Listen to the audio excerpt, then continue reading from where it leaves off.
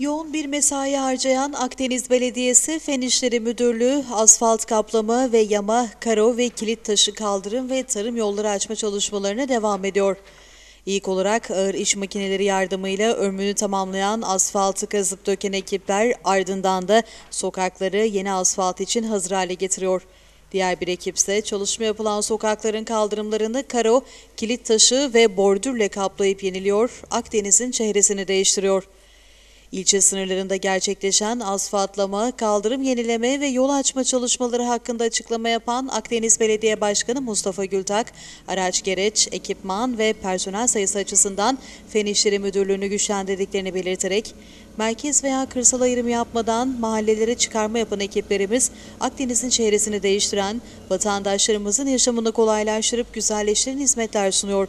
Akdeniz'in çehresini değiştiren, insanlarımızın gündelik yaşamını güzelleştirip kolaylaştıran hizmetlerimiz kesintisiz şekilde devam edecek diye konuştu.